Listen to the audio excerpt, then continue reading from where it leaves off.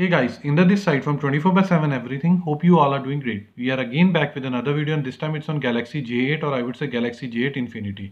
So in this particular video we'll be discussing about the review part of the latest available update which was released in December 2020 for our phone Samsung J8. So let's begin with that.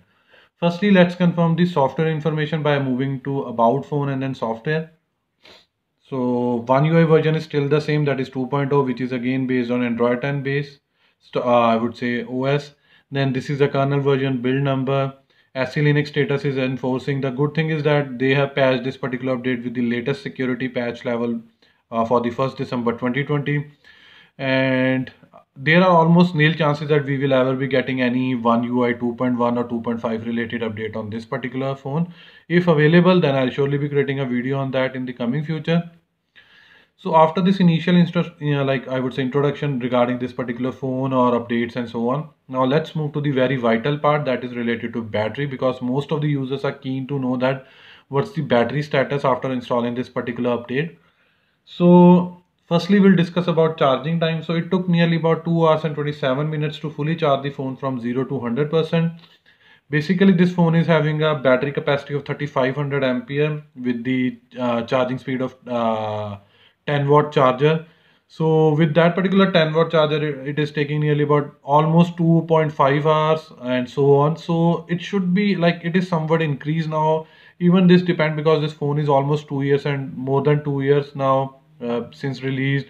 And and aside to that being using this phone from last two years on a continuously basis the battery will also have some uh, i would say tear and wear.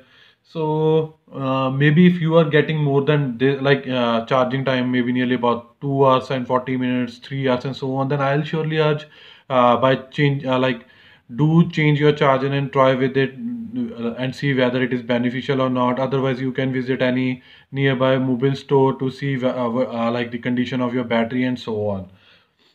Now after charging time, let's move to the ideal battery drainage. So again for this part, I have analyzed for I would say two different days on day first. Like the uh, battery drainage was nearly about 1 to 2 percent over a span of 9 to 10 hour. And on second day it was 2 to 3 percent over a span of 8 to 9 hour. So with the uh, like phones age and batteries tear and wear idle battery drainage is i would say satisfactory. So i don't feel any problem with that.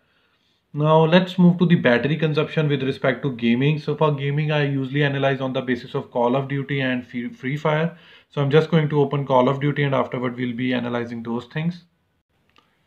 So I've just opened the Call of Duty and for that I have opened the audio and graphic settings. So with respect to avail like available specs for this particular phone, the highest available setting for graphic quality is medium and with the high frame rate. So if you are familiar with my videos then you know that what I'm going to discuss now. So for the analysis part I played two to three different time one hour of gameplay for this particular game to note down the on an average battery consumption and temperature readings and so on. So basically 14 to 15% of battery was consumed for a gameplay of one hour. And a part of this temperature readings as this is a winter season going on so before starting the gameplay the temperature of the phone was 21 degree. And as soon as I completed a one hour of gameplay the temperature of the phone was 30 degree. So overall I haven't faced any lag on this particular game uh, while playing it for two to three different time. So gameplay was butter smooth now let's open the Free Fire and discuss the analysis from that particular point of view. So these are the settings which are being shipped by default whenever you will be installing on your phone. Uh, so on the basis of our available specs, the graphic quality is ultra. So apart of this, I haven't changed a bit in this part. Again, same thing by playing two to three different uh, times the gameplay of one hour. I have analyzed my analysis so on an average 10 to 11% of battery was consumed over a gameplay of 1 hour and a part of this temperature readings were 20 degree before starting the gameplay and 26 degree as soon as I completed a 1 hour of gameplay. Uh, but in this particular game like in one instance I have faced some lag so I'm not sure whether that that was a server issue or maybe connectivity issue at my side but beside to that it was working absolutely fine. So after battery consumption now let's move to the another vital part that, that is related to biometric and security.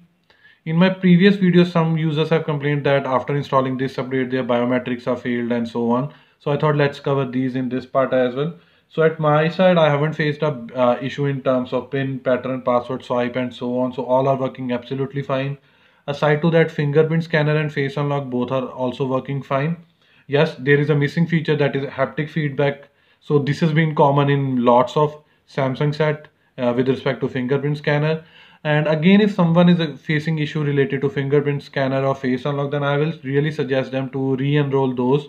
Then this particular underlying issue will surely be resolved. But at my side i haven't faced any issue with respect to security or i would say biometrics. So after biometrics and security now let's open connections so in connection firstly we'll discuss about wi-fi calling. So wi-fi calling is working absolutely fine be it for airtel or Jio. Aside to that native video calling yes it is also available uh, for both be it Airtel or Jio. And aside to that call recorder yes it is also available. You can find it in dialer app. And aside to that Wi-Fi connectivity mobile internet calls and SMS all are working absolutely fine without any glitch without any problem aside to that Bluetooth Bluetooth is also working absolutely fine be it for file transfers or audio via Bluetooth device so there is no problem with that. And last one is related to screencasting or I would say screen mirroring. So it is also working absolutely fine with the Intel based laptop but at my side it, it's not working on the AMD based laptop so not sure what's the reason. So after connection now let's move to the play protection certification. So for that open play store then settings and just uh, scroll to the very below where you will find play protection certification device is certified. So most in most of the cases you will find device is certified and it's hardly an issue but i always like to cover this part just from the information part. So after play protection certification i will uh, really discuss about default apps. So in default apps i really suggest or i always uh, analyze about the radio so fm radio is working absolutely fine this will surely be helpful for the ones who re really like to cut down their time by listening it to this or maybe whenever they are driving be it by their own uh, like transport or public transport and so on. Now after this let's move to the status of camera 2 API. So it is still legacy and there is almost 0% chance that this will surely be uh, uh, changed to limited full or level 3 because Snapdragon 450 I don't think support uh, camera 2 API. Aside to that DRM info. So or I would say Widevine certification. So it is by default available with the L1 security level.